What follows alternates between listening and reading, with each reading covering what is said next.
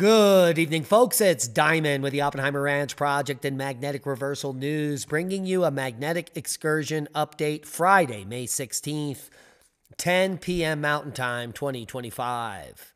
We are now in a G2 geomagnetic storm thanks to the BZ pushing south, but it's ending now, so that will be short lived. But there is aurora glowing over northern Canada.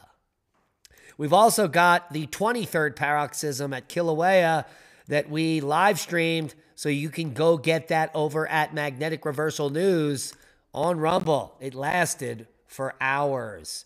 We also have major tornado threats and severe weather threats from Michigan all the way into Texas across the central U.S. Keep calm. It's boom time. Tornadoes ripped through the heartland, leaving paths of destruction and half a million without power. St. Louis police reported four people were, were killed in weather related incidents, but that number could fluctuate as first responders continue to check on the hardest impacted. And impacted indeed. Take a look at this. That is shredded. Powerful winds are sending trees down on St. Louis Street, and the hail that hail was spectacular, several inches. That is gorilla hail. And the cleanup is underway after strong storms rip through West Michigan. This is Top Knot's boyhood home, and he's just flying back now to some of the devastation that's happening there. Crews started cleaning up Friday after a line of strong storms barreled across West Michigan the previous night, bringing down trees into homes and power lines and spawning radar confirmed tornadoes. As of Friday afternoon, the National Weather Service said it had confirmed two EF0 tornadoes in the Battle Creek area. And this was what the power outages looked like this morning when we started assembling the show 261,000 without power in Michigan, but after the storms today, I'd imagine this is going to change. Take a look at that. We've got some recovery in Michigan, 186,000 without power there, but Indiana is spiking now, 103,000 without power in Indiana. 92,000 plus in Kentucky, 92,000 plus in Missouri, 83,000 plus in Maryland. So the severe weather continues, and we now have over a half a million without power due to these storms hours of powers. And the tornado chances have been added to the evening forecast. We'll get to the severe weather map that's live in a moment. And all other severe weather has increased as well. And that's putting 150 million people at risk as severe storms, tornadoes threaten the central and eastern U.S. Violent storms and long lived tornadoes could hit the central and eastern U.S. through the weekend, bringing widespread damage, power outages, dangerous travel conditions, and even large hail. A series of severe thunderstorms packing high winds, hail, and tornadoes will progress into the Ohio and Tennessee valleys into the weekend, and some will extend to the Atlantic coast. Holy macaroni. Friday storms turned deadly in St. Louis and prompted a rare tornado emergency in Illinois and factoring in the population affected from Thursday to Saturday evening, close to 200 million people in the central and eastern United States will have been at risk of severe weather at some point. While the risk may take up only a small, small part of the 72 hour period, it could prove to be shocking, disruptive, even devastating to those most significantly affected by the storms from Friday to Saturday. Close to 150 million people are still at risk. And here we can see the power outage risk through Friday night, mostly Nashville, Lexington, and Indy. Damaging thunderstorms Friday afternoon and night here. Here is the highest risk, and we'll go check that live map. And through Friday night, Evansville, Lexington, Nashville, and Knoxville are the bullseye.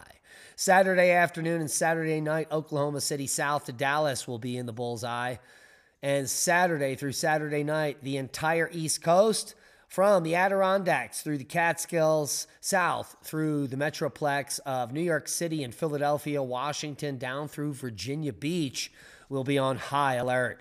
And the current watches and warnings are epic. Take a look at this. There are dozens, Just in the last hour, holy macaroni, I see 1, 2, 3, 4, 5, 6, 7, 8, 9, 10, 11, 12, 13, 14, 15, 17, 18, 19, 20, 20 over 50 severe thunderstorm warnings and one, two, three tornado warnings. Tornado warnings out now for Kentucky at Elliott and Rowan counties. We've got tornado warnings for Pulaski and Wayne counties in Kentucky as well. We've got another tornado warning here just coming out just moments ago for Elliott County in Kentucky, as well as Allen, Logan, Simpson, Warren County, Kentucky.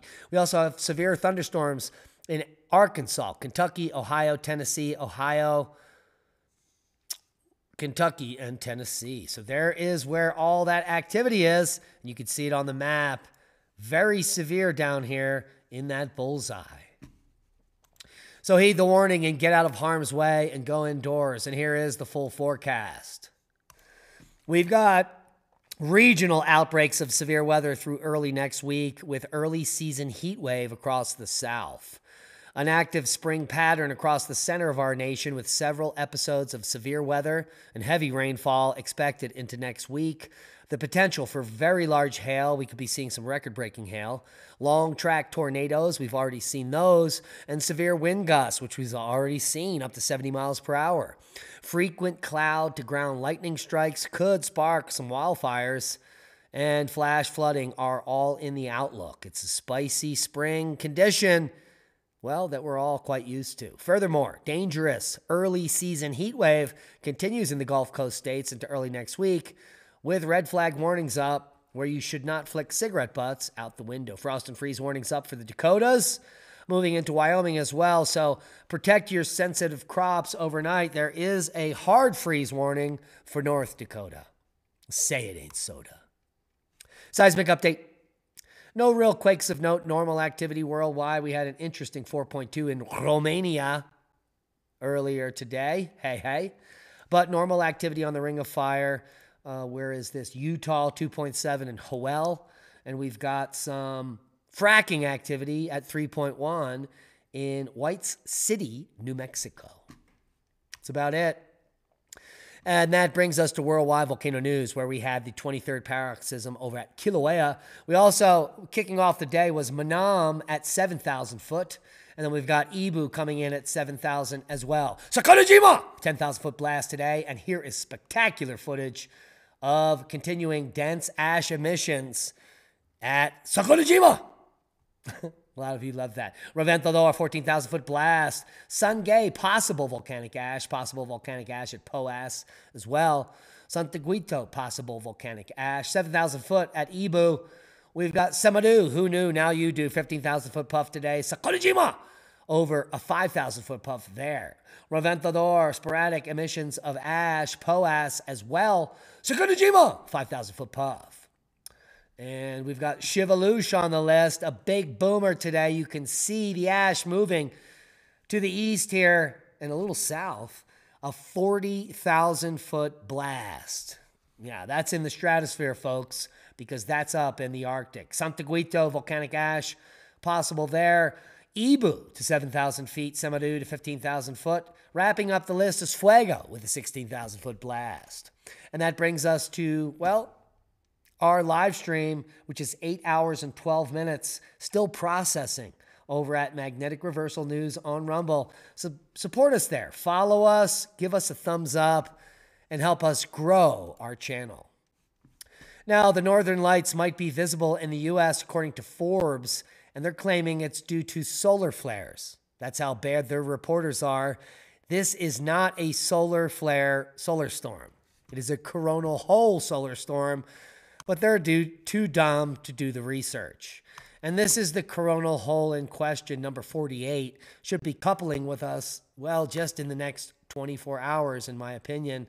And they've got us on geomagnetic storm watch for May 18th through the 19th. So this is a big coronal hole. And during this time frame, we're going to see some large earthquakes that we don't want to see happening. So buckle up, Buttercup. Earthquake watch now starting May 17th through the 21st.